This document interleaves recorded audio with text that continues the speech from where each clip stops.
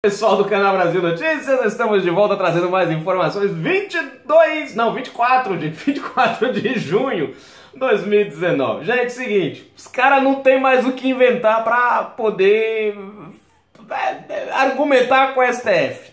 O STF foi lá e tirou da pauta o processo de Lula do julgamento de amanhã e vai ficar só para semana para o meio para para o próximo semestre. Os caras não teve o que argumentar, foram argumentar a idosidade, a idosidade de Lula. Pois Lula é idoso. Não, colocaram como critério para poder o pessoal do STF andar rápido e votar amanhã o negócio. A questão da idade de Lula, gente. Brincadeira um negócio desse. Isso aqui é uma falta de argumento, meu. Ó, def... cadê aqui, ó? Se inscreve, comenta, aperte as notificações, daquele like maroto, ajuda a gente, não esquece de compartilhar, tá bom? Ó, defesa de Lula alega idade e prioridade ao pedir manutenção de julgamento. Bichinho tá velho no STF, bichinho tá ficando velho, babu, baba branca, meu Deus do céu, ele não pode ficar muito tempo lá dentro. Cadê onde foi que eu tô aqui? Sai daí, tá, tá enrolei aqui o negócio, peraí. Oh meu Deus do céu, peraí. Aqui, a defesa do ex-presidente Luiz Inácio Lula da Silva protocolou no início da tarde desta segunda-feira, 24, uma petição à presidente da segunda turma do Supremo Tribunal Federal, STF, ministra Carmen Lúcia, pedindo que seja mantido para esta terça-feira, 25, o julgamento do habeas corpus, que pede a suspensão do ex-juiz e atual ministro da Justiça, Sérgio Moro, do processo em que o petista foi condenado.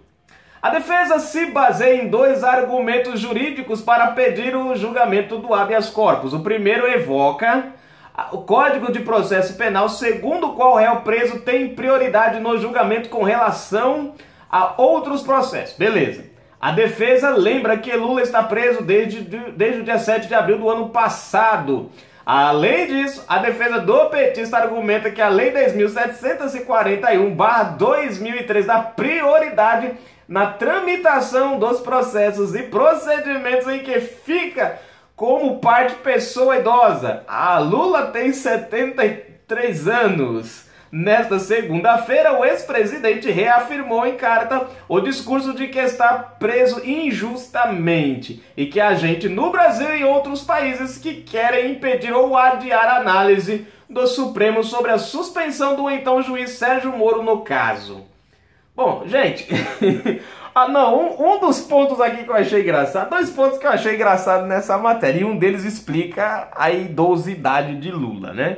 O bicho tá ficando velho, já tá ficando caduco, porque você viu no finalzinho que ele disse que tem gente, teoria das, da conspiração, ele disse que tem gente lá fora do Brasil, em outros países, que quer que ele continue preso, né? Bom, não sei de onde ele, mas enfim, deixa pra lá.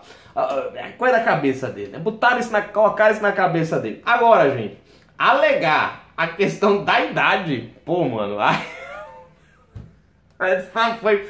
Não, daqui a pouco o Lula vai ter prioridade na fila. Será que ele tem prioridade, gente, na fila do rango lá na cadeia? Peraí, companheiro, companheiro, carteirinha que eu sou idoso, eu sou idoso, peraí. É, detento Lula, Lula Molusco, peraí, 73 anos, Será que tem fila, gente, pra idoso? na cadeia. Põe no banheiro também. Será que quando enfrentar a fila, será que idoso lá tem preferência? Não, gente, é, é, piada um negócio desse, cara. Piada, mano. O, ó, eu vou dizer uma coisa. Esse advogado do Lula, gente, tem que voltar pra faculdade, meu. Usar até a idade, meu. Ou o cara é... Não, não sei, gente. A idade de Lula. Tá certo, gente. Tem um artigo na lei? Tem um artigo na lei. Mas, gente, pelo amor de Deus, cara. E é uma falta de Eu fico imaginando o Lula na hora de pegar o rango procurando a fila dos idosos na cadeia. Canal Brasil Notícias, gente. Fui.